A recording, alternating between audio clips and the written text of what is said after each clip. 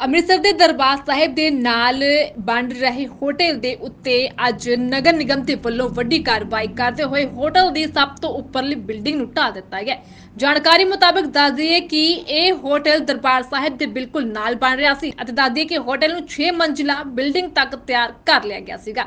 ਦੱਸਦੀ ਹੈ ਕਿ ਬੀਤੇ ਦਿਨ ਮੁੱਖ ਮੰਤਰੀ ਭਗਵੰਤ ਮਾਨ ਦੇ ਵੱਲੋਂ ਦਿੱਲੀ ਦੇ ਸਾਬਕਾ ਡਿਪਟੀ ਸੀਐਮ ਦੇ ਨਾਲ ਦਰਬਾਰ ਸਾਹਿਬ ਮੱਥਾ ਟੇਕਣ ਦੇ ਲਈ ਪਹੁੰਚੇ ਸੀ ਅਤੇ ਇਸ ਨੂੰ ਲੈ ਕੇ ਸ਼੍ਰੋਮਣੀ ਕਮੇਟੀ ਦੇ ਅਧਿਕਾਰੀਆਂ ਨੇ ਮੁੱਖ ਮੰਤਰੀ ਅੱਗੇ ਇਹ ਇਤਰਾਜ਼ ਜਤਾਇਆ ਕਿ ਅਸੀਂ ਪਿਛਲੇ ਇੱਕ ਡੇਢ ਮਹੀਨੇ ਤੋਂ ਨਗਰ ਨਿਗਮ ਨੂੰ ਸ਼ਿਕਾਇਤ ਕਰ ਰਹੇ ਹਾਂ, ਪਰ ਇਸ ਬਿਲਡਿੰਗ ਤੇ ਕੋਈ ਕਾਰਵਾਈ ਨਹੀਂ ਹੋ ਰਹੀ, ਜਿਸ ਨਾਲ ਕੋਈ ਵੱਡਾ ਹਾਦਸਾ ਵੀ ਹੋ ਸਕਦਾ ਹੈ। ਜਿਸ ਦੇ ਚੱਲਦੇ ਪੰਜਾਬ ਮੁੱਖ ਮੰਤਰੀ ਮਾਨ ਨੇ ਆਦੇਸ਼ ਜਾਰੀ ਕੀਤੇ ਅਤੇ ਅੱਜ ਤੜਕਸਾਰ ਹੀ ਨਗਰ ਨਿਗਮ ਬਿਲਡਿੰਗ ਵਿਭਾਗ ਦੇ ਅਧਿਕਾਰੀਆਂ ਦੇ ਵੱਲੋਂ ਇਸ ਬਿਲਡਿੰਗ ਦਾ ਉੱਪਰਲਾ ਹਿੱਸਾ ਢਾ ਦਿੱਤਾ ਹੈ। ਤੁਸੀਂ ਤਸਵੀਰਾਂ ਦੇ ਵਿੱਚ ਵੀ ਦੇਖ ਸਕਦੇ ਹੋ ਕਿ ਕਿਸ ਤਰ੍ਹਾਂ ਹਰਮਿੰਦਰ ਸਾਹਿਬ ਦੇ ਨਾਲ ਬਣੇ ਇਹ ਹੋਟਲ ਦੀ ਉੱਪਰਲੀ ਸਭ ਤੋਂ ਬਿਲਡਿੰਗ ਜਿਹੜੀ ਹੈ ਉਸ ਨੂੰ ਢਾਇਆ ਜਾ ਰਿਹਾ ਹੈ। ਬਿਲਡਿੰਗ ਬਣ ਰਹੀ ਸੀ ਜਿਹੜੀ ਪੁਰਾਣੀ ਬਿਲਡਿੰਗ ਦੇ ਉੱਪਰ ਰੈਨੋਵੇਸ਼ਨ ਚੱਲ ਰਹੀ ਸੀ। ਹਾਂਜੀ।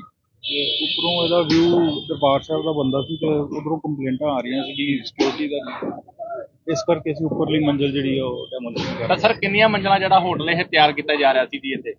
ਇਹ ਹੈਗਾ 5-6 ਮੰਜ਼ਿਲ 6 ਮੰਜ਼ਿਲ ਹੈਗਾ ਤੇ ਕਿੰਨੇ ਸਮੇਂ ਤੋਂ ਜਿਹੜੀ ਸ਼ਿਕਾਇਤ ਆ ਉਹ ਦਿੱਤੀ ਜਾ ਰਹੀ ਅਸੀਂ। ਇਹ ਮਹੀਨੇ ਦੋ ਮਹੀਨੇ ਤੋਂ ਸ਼ਿਕਾਇਤ ਆ ਰਹੀ ਤੇ ਸਰ ਉਦੋਂ ਕਿਉਂ ਨਹੀਂ ਕਾਰਵਾਈ ਕੀਤੀ ਗਈ ਜੀ? ਕਿਉਂਕਿ ਕੱਲ ਜੇਕਰ ਅਸੀਂ ਗੱਲ ਕਰੀਏ ਪੰਜਾਬ ਦੇ ਮੁੱਖ ਮੰਤਰੀ ਇੱਥੇ ਪਹੁੰਚਦੇ ਨੇ ਉਹਨਾਂ ਨੂੰ ਸ਼ਿਕਾਇਤ ਜਿਹੜੀ ਐਸਜੀਪੀਸੀ ਵੱਲੋਂ ਕੀਤੀ ਜਾਂਦੀ ਹੈ ਉਸ ਤੋਂ ਬਾਅਦ ਜਿਹੜਾ ਪ੍ਰਸ਼ਾਸਨ ਆ ਕੰਮ ਬੰਦ ਉਹ ਕਰਵਾਇਆ ਦਿਖਾਈ ਦੇ ਰਿਹਾ ਜੀ। ਕੰਮ ਬੰਦ ਪਹਿਲੇ ਕਰਵਾਇਆ ਹੋਇਆ ਸੀ। ਹਾਂਜੀ। ਕੰਮ ਬੰਦ ਹੀ ਸੀਗਾ। ਸਰ ਬਾਹਰਲੇ ਪਾਸੋਂ ਕੰਮ ਬੰਦ ਹੋ ਜਾਂਦਾ ਪਰ ਅੰਦਰਲੇ ਪਾਸੇ ਤਾਂ ਉਸੇ ਤਰੀਕੇ ਦੇ ਨਾਲ ਹੀ ਕੰਮ ਚੱਲਦੇ ਰਹਿੰਦੇ ਨੇ ਜੀ। ਨਹੀਂ ਨਹੀਂ ਕੰਮ ਬੰਦ ਕਰਵਾਇਆ ਹੋਇਆ ਸੀ। ਥੋੜਾ ਜਿਹਾ ਸਟਾਫ ਦੀ ਕਮੀ ਹੋਣ ਕਰਕੇ ਵਾਰੀ-ਵਾਰੀ ਇੱਕੋ ਥਾਂ ਤੇ ਨਹੀਂ ਆਇਆ ਜਾਂਦਾ।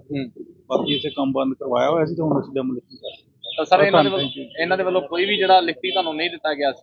ਆ ਨਹੀਂ ਦੇ ਦੇ ਰਹੇ ਲਿਖ ਕੇ ਦੇ ਰਹੇ। ਅੱਛਾ ਜੀ। ਤੇ ਬਿਲਡਿੰਗ ਕਿੰਨਾ ਦੀ ਜੀ ਇਹ? ਬਿਲਡਿੰਗ ਮੈਨੂੰ ਨਹੀਂ ਪਤਾ। ਤਾਂ ਕੋਈ ਇੱਥੇ ਪਹੁੰਚਿਆ ਸਵੇਰ ਦਾ ਕੋਈ ਜਿਸ ਤਰ੍ਹਾਂ ਕਾਰਵਾਈ ਚੱਲ ਰਹੀ ਹੈ ਕੋਈ ਪਹੁੰਚਿਆ ਹੁਣ ਤੱਕ ਹੋਟਲ ਦਾ ਮਾਲਕ ਹਾਂ ਆਏ ਆ ਕੋਈ ਕੰਸਰਨਡ ਬੰਦੇ ਆਏ ਹੋਏ ਆ। ਅੱਛਾ ਜੀ। ਤੇ ਕੀ ਕਿਹਾ ਗਿਆ ਜੀ ਉਹਨਾਂ ਦੇ ਵੱਲੋਂ ਆ ਕੇ ਤੁਹਾਡਾ ਕੀ ਗੱਲਬਾਤ ਕੁਝ ਨਹੀਂ ਅਸੀਂ ਉਹਨਾਂ ਨੂੰ ਕਿਹਾ ਵੀ ਗਿਰਾ ਰਹੇ ਹਾਂ ਜੀ ਬਸ ਬੈਠੇ ਹੋ ਵੀ ਬੈਠੇ ਸਰ ਜੇਕਰ ਅਸੀਂ ਗੱਲ ਕਰੀਏ ਹੋਰ ਵੀ ਬਹੁਤ ਸਾਰੇ ਹੋਟਲ ਨੇ ਜਿੱਥੋਂ ਦਰਬਾਰ ਚੱਲਦੀ ਰਹਿੰਦੀ ਹੈ ਜੀ ਕਾਰਵਾਈ ਕਾਰਵਾਈ ਚੱਲਦੀ ਰਹਿੰਦੀ ਹੈ ਜੀ ਹੁਣ ਜਿੱਦਾਂ ਜਿੱਦਾਂ ਅਹ, ਕੋਈ ਆਂਦਾ ਉਦੋਂ ਦਾ ਕਰ ਪਰ ਲੱਗਦਾ ਨਹੀਂ ਕਿ ਤੁਹਾਡੇ ਵੱਲੋਂ ਜਿਹੜੀ ਢਿੱਲੀ ਕਾਰਵਾਈ ਕੀਤੀ ਜਾਂਦੀ ਹੈ ਇੱਕ ਮਹੀਨੇ ਤੋਂ ਉਹਦੇ ਉੱਪਰ ਹੋ ਪਿੱਛੇ ਕਈ। ਕਾਰਨ ਹੈਗੇ ਜੀ ਸਾਡੇ ਕੋਲ ਸਟਾਫ ਦੀ ਵੀ ਕਮੀ ਭਾਈ ਉਹਦੇ ਨਾਲ ਵੀ ਇੱਕ ਥੈਂਕ ਯੂ ਜੀ। ਸਰ ਉਹਦੇ ਨਾਲ ਇੱਕ ਹੋਰ ਬਿਲਡਿੰਗ ਤਿਆਰ ਹੋ ਰਹੀ ਹੈ ਜੀ ਉਹਨੂੰ ਵੀ ਢਾਇਆ ਜਾਏਗਾ ਜੀ ਹਾਂ ਜੀ ਆਉਣ ਉਹਦੇ ਤੇ। ਕਰਾਂਗੇ ਜੀ ਕਾਰਵਾਈ। ਲੱਗਦਾ ਨਹੀਂ ਕਿ ਹੋਰ ਵੀ ਬਹੁਤ ਸਾਰੇ ਹੋਟਲ ਜਿਹੜੇ ਨਜਾਇਜ਼ ਇੱਥੇ ਬਣੇ ਹੋਏ ਨੇ ਉਹਨਾਂ ਦੇ ਉੱਪਰ ਹਜੇ ਤੱਕ ਕਿਸੇ ਵੀ ਤਰ੍ਹਾਂ ਦੀ ਕਾਰਵਾਈ ਨਹੀਂ ਕੀਤੀ ਨਹੀਂ ਜਾ ਰਹੀ। ਚੱਲਦੀ ਰਹਿੰਦੀ ਜੀ ਕਾਰਵਾਈ ਸਾਡੀ ਕੰਟੀਨਿਊ ਹੁਣ ਚੱਲਦੀ ਤੇ ਰਹਿੰਦੀ। ਆਜੋ ਨਾਲ ਲੱਗਦੇ ਹੱਥ ਉੱਤੇ ਵੀ ਹਾਂ ਉਹ ਵੀ ਕਰਕੇ ਜਾਵਾਂ ਕਰਕੇ ਜਾਵਾਂ ਠੀਕ ਥੈਂਕ ਯੂ